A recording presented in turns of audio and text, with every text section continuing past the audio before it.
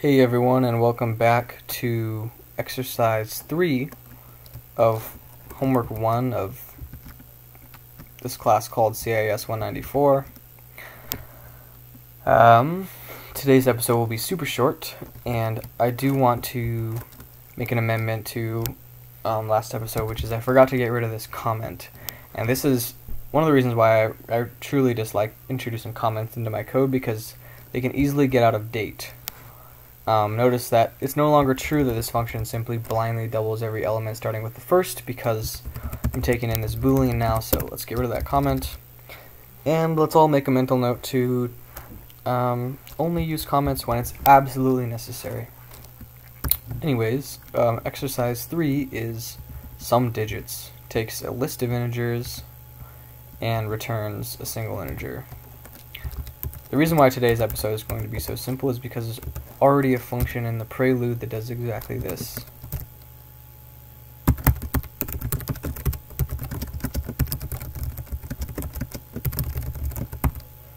And that function is called sum. Oops.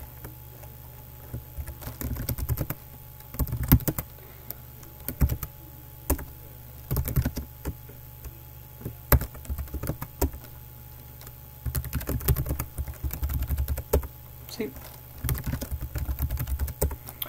And the way I see it, there's no point in reinventing the wheel, um, and this can be reduced. Um, so, I suppose I should show you some. Whoa, that's kind of funky. I've never seen that before. Um, oh, this is just a Vim plugin that um, changes some things like undefined to Unicode symbols. I've never seen the sum one though. That's kind of cool, huh? Um, anyways, um, here are some ways you can roll your own sum.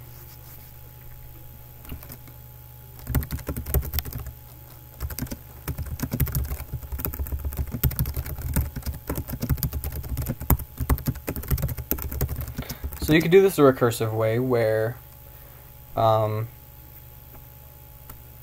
my base case is 0 in other words, the sum of an empty list is 0. And the sum of some n cons down to n's is n plus sum digits on n's. Hopefully that makes sense. All I'm doing is taking the head of the list and adding it to the sum of the tail. And this is eventually going to hit the base case, which will be 0 um, and then it will sort of propagate back and sum the entire list. And this can also be expressed with a fold.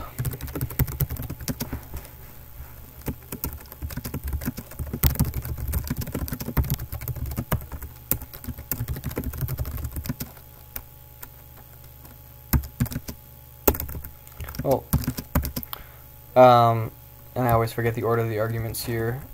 Uh, show you left fold. Left fold takes a function from A to B to A.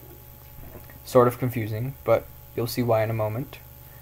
And it also takes an A and a list of B and returns an A. So how can you make any sense of this? Well, if you treat A like the accumulator type,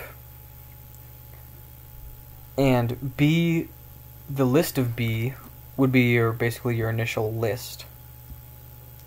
Then your function takes your current accumulator and one element off of that list and combines them to form a new accumulator. And at that point, your list of B will be one shorter, and you'll repeat the process, passing in your new accumulator and the next element in B returning a new accumulator.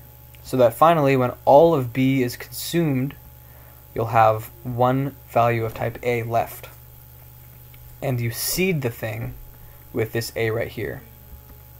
So in a fold, this function right here is. And the type of plus is just it combines two A's into one A. So that's okay. Um, we could we could change we could have different types here for the accumulator and the list. In this case, we don't. So I hope I went slow enough so that that made some sense. But um, first we have our our combining function, I'll call it. Our associative binary function. And next comes our initial accumulator. So for a sum, it makes sense that this is 0. Um, so that the first call to this function will do 0 plus some element from my list and store that into A and so on. Oops. And my list is just my ends and that compiles, so it works. And I can reduce this down. So you may have seen this before that sum equals a left fold of plus c to its 0. And there's also a variation on fold L. I believe it's fold L tick. Oh, sorry, fold L1. And what fold L1, oops, sorry, I'll keep on going to the wrong screen. Fold L1 is very similar, but instead of taking a function from A to B to A, it takes a function from A to A to A, and there is no accumulator. So how does the thing get seated? Well, it gets seated with the head, or, yep, uh, yep, it's the, well, maybe it's the tail. Left fold, yeah, the tail um, of the list. So that is why you can't have different types here because it's using an element from the list as the accumulator. So sum can also be expressed as fold L1 of plus, and just to give you a sort of diagram of what's going on here, fold L of plus on a list like 1, 2, 3 basically does 0 plus 1, oops, get the accumulator in here,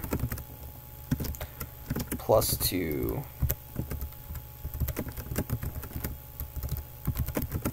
plus 3. Whereas fold L1 of plus on 1, 2, 3 does 1 plus 2 plus 3. Alright, so those are a few ways of defining um, sum. Thanks for watching.